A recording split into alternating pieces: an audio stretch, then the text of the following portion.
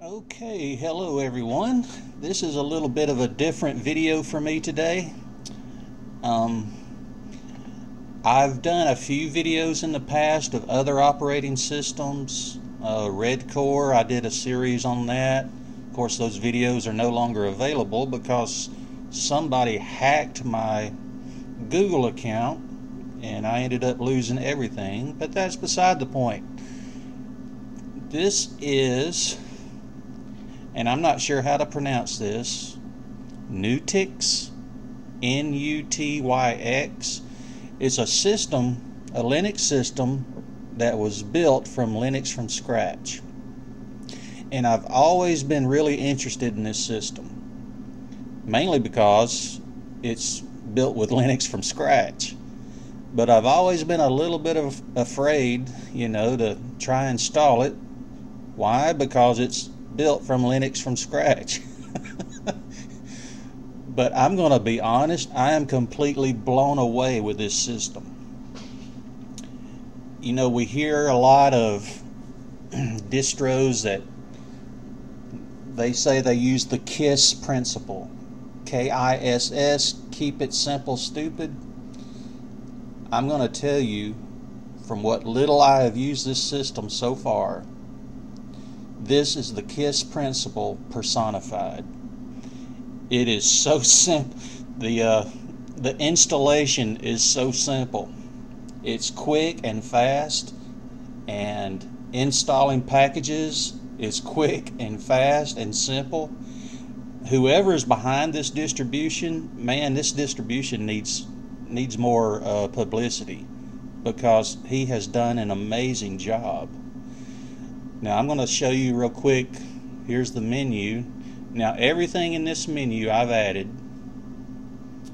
Compton and LeafPad I added.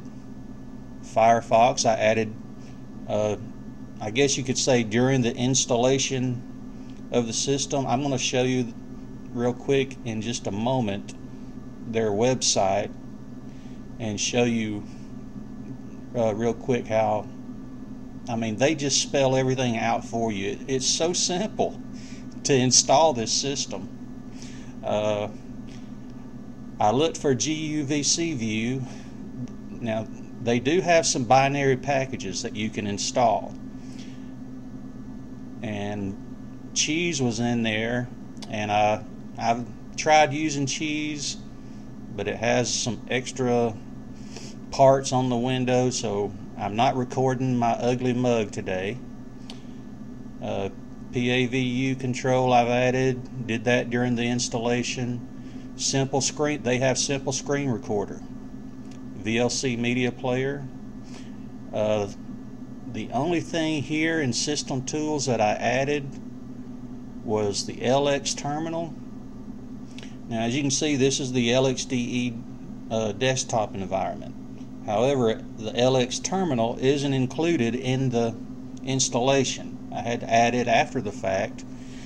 And on most distributions, if you wanted to add the LX terminal, that's what you would add. Like in Devuan or Debian based distros, you'd sudo apt install LX terminal. Well, in Nutyx, and I hope I'm saying that right, it's LXDE terminal. So has a few little peculiarities, nothing that's hard to overcome whatsoever. I also added the flcards packet, uh, package manager. And I'm going to show you that in a minute. We're going to install a package with it. Basically what it is, it's a very simple GUI front end for their uh, package manager and it works great. It's just so simple. I mean, I, I can't say enough about this system. I'm I'm just blown away with it. Um, nothing else in there that I added. And preferences, what you see there is what comes on the system. So let's look real quick. Let's see, what, do, what can I install? Um, first, let's do a terminal installation of a package. And I'm pretty sure that this is in the repositories. So they use cards. That's their package manager. So let's do sudo cards install screen fetch.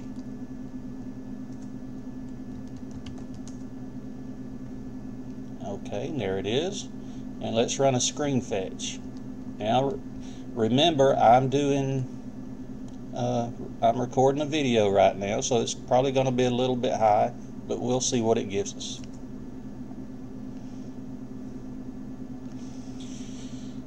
Okay, the o OS is the unknown rolling Huafan. Okay, kernel is 414. Um, showing I'm using 509 megabytes of RAM right now. So that's not bad at all. Um, you see my I'm using my MiyoLinux Arc dark window theme. And by the way, the Arc theme and Papyrus icons and the Arc icons are in the repository. So that's how you would install something uh, through the terminal by using cards. And you can also, uh, let's see what all the options are. If you didn't see what I did, I did cards AH for help. And here are all the uh, commands to use with cards. Alright, now let's look at the GUI front end for cards.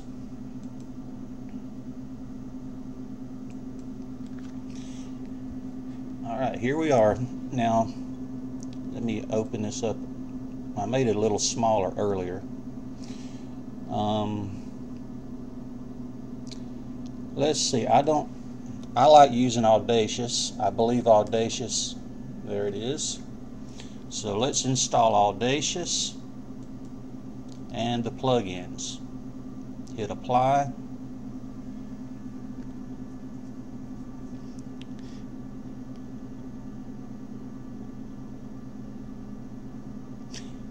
And you see the job is finished. It's installed now, okay? Now before I click on the menu I do want to point something out. I don't know if it'll do it this time but sometimes after installing something the menu may not be exactly right but it's always fixed after uh, logging out and logging back in. Okay, it didn't do it that time. There have been a couple of times when I installed something where the entire menu didn't show but it would have the arrows where you could go up to the arrow and then you could scroll through the entire menu. But this time it did work. And there's my beloved Audacious. Wish I had some MP3s right now to play on it. But you see how, I mean, this system, it just flies and it's so easy. From the installation to adding uh, the binary packages and when you go to their website, it's like I was saying earlier, it it gives you step by step instru- all I do I followed their installation instructions and I mean it worked absolutely fantastic. They also have instructions for uh, uh, like if you wanted to build packages from source step by step. This is a great distribution. Not only is it is it great just to use it, but the people behind it have made it so easy for users to be able to do things. Now here's the typical installation on a single partition and I do want to point that out. Uh, NuTyX does not use a home partition. If you want to add an, a home partition, they don't do that. They put everything on a single partition. But you just go through here. It shows you how to do the installation. Uh, I didn't even have to mess with any of this stuff right here. I just put it on the partition I wanted to put it on. Now I do want to say one thing and it could be a problem that I did during installation it did take over my grub, so I'm going to have to fix that. But I just I can't say enough good things about this. You know, I've I'm a big huge fan of Void Linux. But if things continue with this the way they've started out, this may very well supplant my love of Void Linux. Um, you go in here, I mean, it, it just has so much information to help you, to help you be successful. And like I said, it's so simple. Now, the installation, if you're used to using the Ubuntu installer or something, uh, you know, some of the easy to use, and because this is a text installer but it's very quick, it's very easy to use, and very simple. So I just want to say thank you. Um, I wish I knew the guy who was behind this. I do have a inkling of who it's I believe his name on the forum is Theory. Now I don't know for sure if this is the guy that's behind it, but I I do have a sneaking suspicion that this man right here is the person that's behind the distribution. So I just want to say thank you. You have done an amazing job and if you're interested in this system, by all means try it out. Oh, one other thing before I uh, you see here I'm on my wireless network. Just a snap. I mean everything is so simple to set up. So that's about it. I don't have much else to say. It's a great system and I would I'd encourage anyone try it out.